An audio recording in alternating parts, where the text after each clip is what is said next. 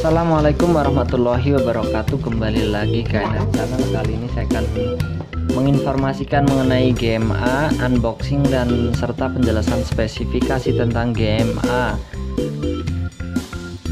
Dan ini tujuannya mau saya pasang di GSX Dan pertanyaannya apakah bisa? Dan nanti saya akan buktikan ya.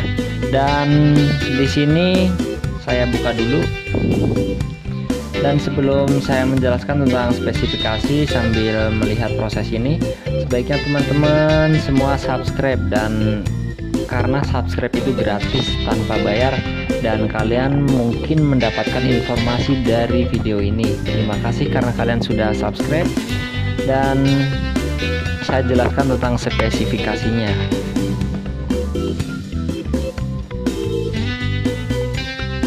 Oke, saya jelaskan mengenai spesifikasi tentang GMA ini. Dan di sini udah agak rusak untuk packingannya ya, karena kurang bagus cara pelayanan mengenai packing ini. Ini dibeli online ya, dan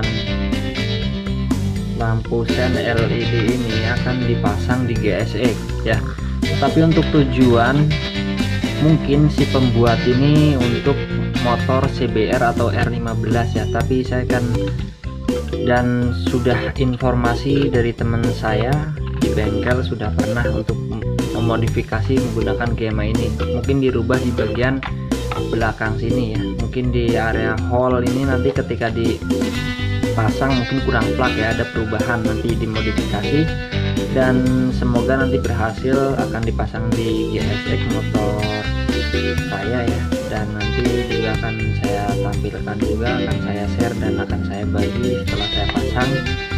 Dan di sini saya jelaskan juga mengenai spesifikasi part GMA ini ya.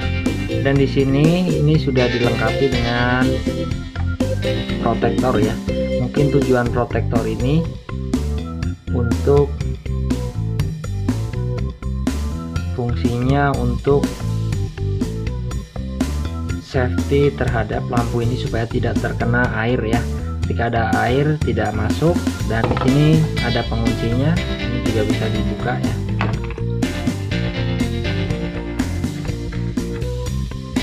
Ini bisa dibuka. Tujuannya fungsinya untuk mengunci ini.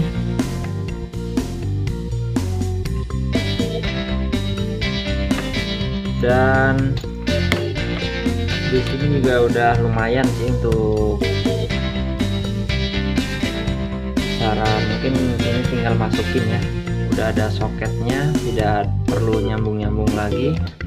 Dan saran saya untuk ketika beli di online mending pesen ya langsung chat si penjualnya si pelapaknya minta packingnya yang rapi. Ini pengalaman saya dikasih packing yang kurang bagus ya. Jadi agak sedikit scrap di empatnya